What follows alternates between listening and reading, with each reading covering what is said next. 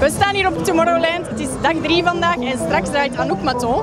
Zij heeft heel veel volgers op Instagram. Ze heeft een hele toffe stijl. En momenteel zit zij in de backstage. Haar make-up wordt gedaan. Dus ik ga daar eens eventjes gaan kijken.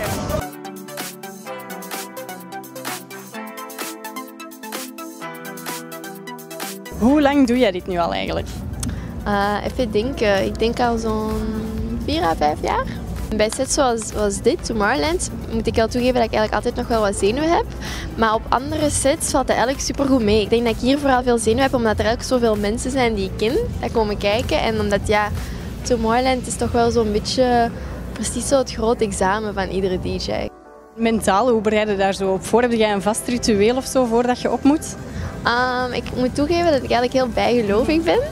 En um, ik heb heel veel edelstenen. En ik heb ook bepaalde stenen voor succes of voor um, ja, avonden zoals deze, die ik dan eigenlijk vastpak en eigenlijk een soort van gebedje doe. Dus dat doe ik eigenlijk altijd wel.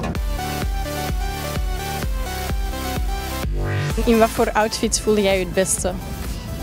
Ik ben zeker geen uh, meeloper, om het zo te zeggen. Dus ik ga zeker geen trends volgen omdat ze in de mode zijn. Ik maak altijd een beetje mijn eigen ding. En zoals ik nu eigenlijk een beetje aan heb, ik voel me heel comfortabel. En gewoon een leuke broek en een top, heel simpel eigenlijk. Ofwel een, een, een mooi whipped shortje en een topje. Eigenlijk, eigenlijk vrij simpel, maar ik probeer het altijd wel op te fleuren met dan een leuk accent. Zoals uh, juweeltjes of iets in mijn haar of een hoed zoals ik gisteren op had. Dus ja, het is een lange dag. Hoe zorg je ervoor dat dat allemaal blijft zitten, die make-up? Uh, door de Pip en Prime van Mac. Ja. die zorgt ervoor dat alles goed blijft zitten. Dus uh, ja. Als je nu één ultieme make-up tip eigenlijk zou moeten geven aan onze kijkers, wat is dat dan? Mascara.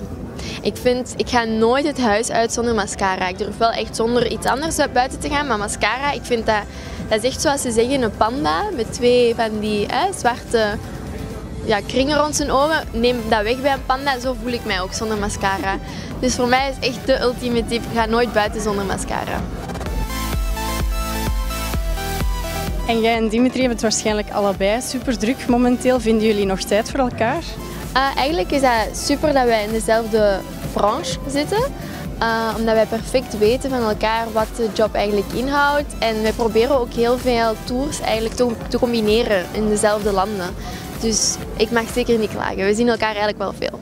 Gisteren, net voor zijn set op de mainstage, stuurde hij mij een filmpje van achter de DJ-boot. Dus dat vond ik wel echt super lief. Van, oh, he's thinking of me.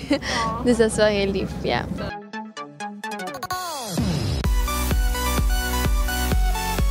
Ga jij zelf na je set nog feesten vandaag?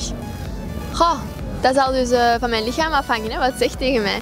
Uh, nee, ik weet eigenlijk niet. Ik, uh, na mijn set draait Timmy. Um, dus daar blijf ik sowieso bij kijken. En dan denk ik misschien oh, nog een uurtje of zo, maar dan ga ik toch ook wel naar huis. Want wij vliegen morgen ook al door naar Ibiza. Dus uh, ik, ga het, ik ga het denk ik vrij rustig houden, toch wel. Ja. Het is al een lang weekend geweest. Het weekend ook opnieuw. Ja. Dus uh, ja. Ladies and gentlemen, make some noise for the